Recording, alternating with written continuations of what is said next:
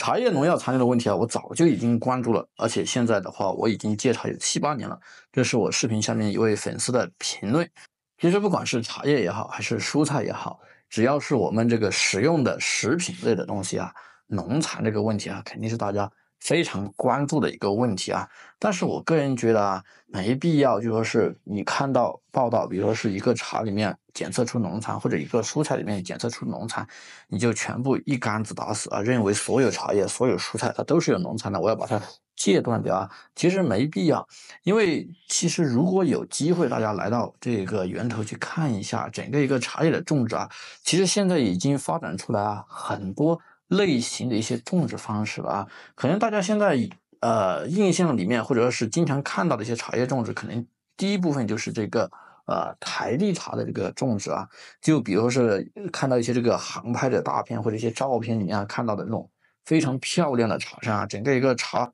它是一行一行的啊，非常震撼啊，就是整整齐齐的修整的，然后呃，整个茶绿油油的啊，看上去非常的这一个气派，非常漂亮，然后呃，看着像这个绿化带一排一排的排起来这样啊，也有人把这个茶叶啊，这种茶称为了这个绿化带茶。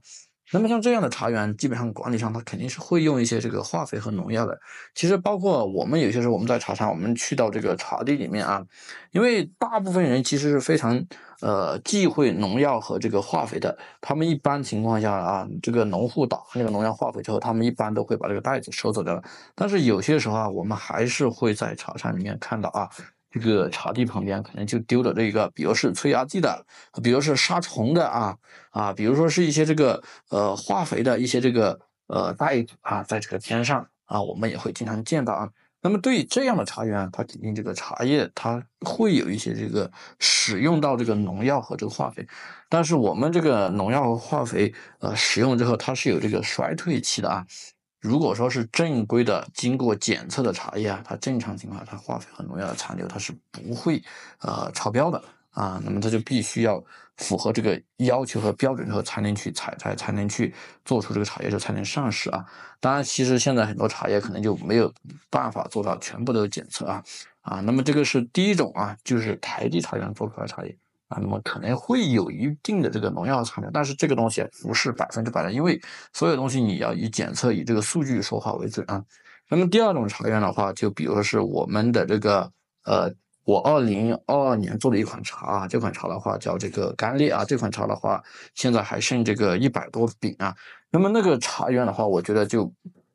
呃非常的这个原生态。那么那个茶园的话，其实就是呃原来的这个台地茶园啊，大概就是。呃，建国以后啊，就是五几年啊，大概是五七五八那个时候啊，这个茶园，它当时种植下来的茶园，然后呃，当时可能也是发展这个集体经济嘛啊，然后大家去种这个茶园，种了这个茶园之后，呃，可能头几年还是效益比较好啊，但是后面的话效益比较差了之后，那么整个一个茶园也就没人去管理了，因为你去管理这个茶园，到最后你花的这个功夫啊，反而还没有这个叫什么挣来的钱啊。比花的功夫还要少，所以说没人愿意去管理。后面的话就荒放了啊。那么等到二零二二年我们去看的时候，这个有有有一位这个朋友把这个茶山这个啊包下来，我们去看的时候，这个茶山这个茶茶树已经长得大概有这个四五米高啊，基本上都是有呃基本上是呃高过人很多了啊。整个茶园已经全部长进这个森林里面去了啊。所以这样的茶园，如果说是这样的茶园。那你说他怎么可能会使用化肥和农药呢？那么这样的茶园做出来茶基本上就不会存在啊，刚刚讲到的这种化肥和农药，因为首先它肯定是没人管理的，它也不太使用的啊，所以这个茶叶啊，我们二零二二年的时候我就去做了大概有两百多饼啊，那么这个茶其实做下来，我觉得这个口感滋味也好啊，这个香气也好都是非常不错的。啊，但是还有一点遗憾，就这个茶园，因为它是从台地茶园荒放过来的，整个茶的这一个密度还是有点高，其实它的采摘会相对困难一点，然后它产量会非常低，因为本来台地茶种的时候是一颗挨一颗种的，你等它这个放高了之后，它肯定就是一颗跟一颗挨在一起的，然后中间可能有一些这个其他的杂树。长起来了啊，然后整个产量的话啊，一颗茶里面可能就发的这个一点点啊，整个产量非常低，采摘非常困难，但茶叶品质啊确实不错啊，确实不错啊。那么喝起来的话，它这个花香啊，还有这个